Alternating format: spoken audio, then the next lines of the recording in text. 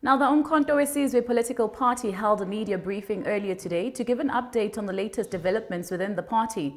This comes as the party recently cut ties with 18 of its members of the parliament and welcomed new members, and this is including former Economic Freedom Fighters Deputy President Floyd Shivambu.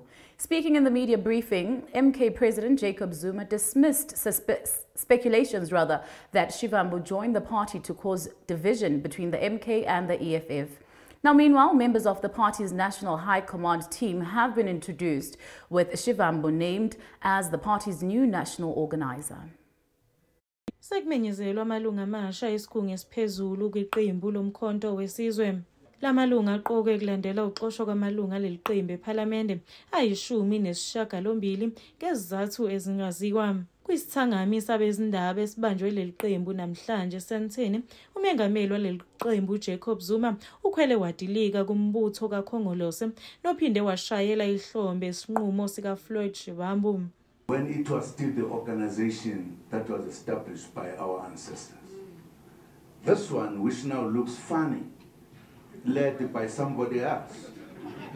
I'm not going to leave that one. This one I'm leaving, I'm not going to vote for. We must come to a point where we realize the reality. And I'm telling you, this comrade will come to the books of history.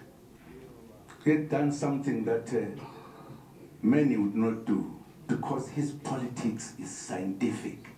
Khona manjalo amalunga axoshiwe kuleli qembu aye enkantolo izolo kuyolwisana nalesinqumo seqembu njengoba ethi-ke bekungekho emthethweni ukuxoshwa kwawo.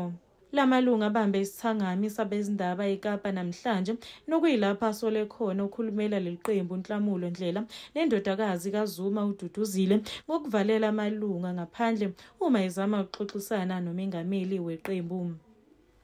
Ezindabeni zesoweto tv ngikunokulunga mthembu ngisesenthe